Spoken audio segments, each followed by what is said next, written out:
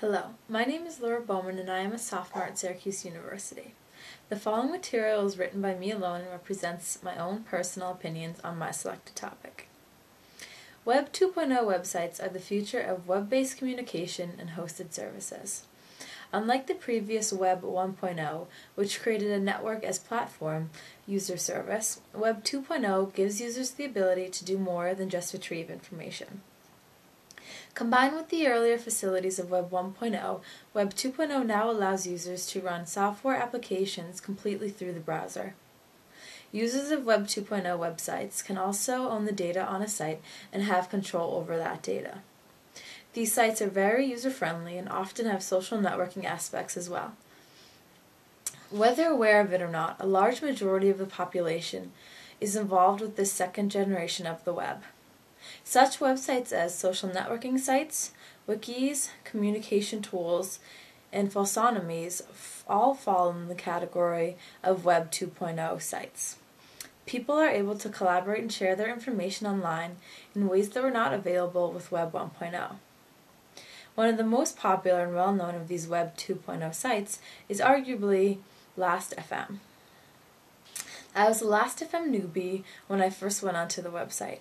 I want to see what this website offered and how it functions as a Web 2.0 site. Last.fm, the social music revolution, is a free online site offering internet radio and an ever-growing music community. Over 20 million people have discovered the benefits of Last.fm and have made it the world's largest social music platform. Through my investigation of the site, I was easily able to navigate myself through all that the site presents and get a general idea of how it works and what it has to offer.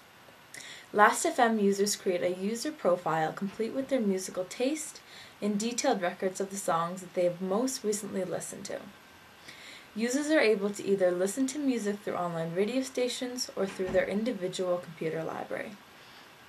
Once a profile has been set up and the users start to listen to their choice of music, the site offers recommendations towards similar radio stations or bands that seem to fit the user's personal taste. Users with similar tastes in music are also able to interact with one another and share musical opinions. Last.fm offers event calendars of what is going on musically around your area. Local concerts and events are easy to find. Through my trial and error of searching the site, it is easy to see why more than 20 million people have decided to become a part of Last.fm. Without having previous knowledge of the site, I was able to easily navigate myself throughout the pages. The site is clearly formatted and easy to follow. A new user should have no trouble getting started and after no time enjoying all Last.fm has to offer.